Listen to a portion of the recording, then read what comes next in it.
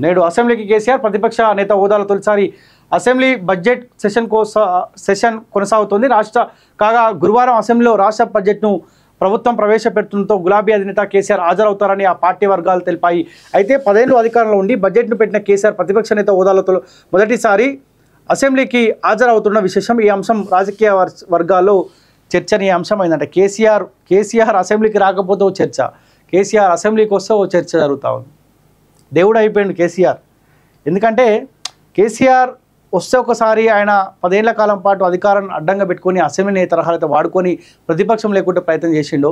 So Revanth Reddy కూడా ఎదురు చూస్తాడు అరే కేసీఆర్ ఒక్కసారి వస్తే మంచిగా ఉండు వస్తే ఆయన కూడా ఎట్లా ఉంటుంది ఇబ్బంది ఆ పెయిన్ ఎట్లుంటుంది చూపుతామని చెప్పి రేవంత్ రెడ్డి ఎదురు చూస్తూ ఉండు మరి కేసీఆర్ పోతాడా?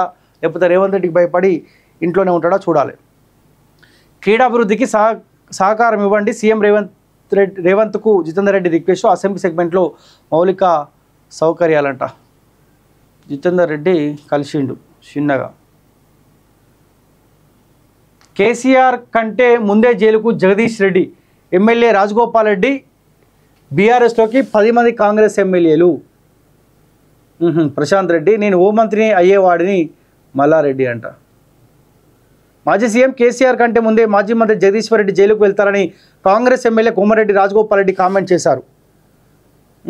మంత్రిగా పనిచేసే కాలంలో జగదీశ్వర్ రెడ్డి పెద్ద ఎత్తున అవినీతికి పాల్పడ్డారని విచారణ జరిపిస్తే ఆయన జైలుకు వెళ్ళక తప్పదన్నారు. జగదీశ్వర్ రెడ్డి కాంగ్రెస్లోకి వస్తే కాంగ్రెస్లోని లీడర్లు బీఆర్ఎస్లోకి వెళ్తారని అభిప్రాయపడ్డారు.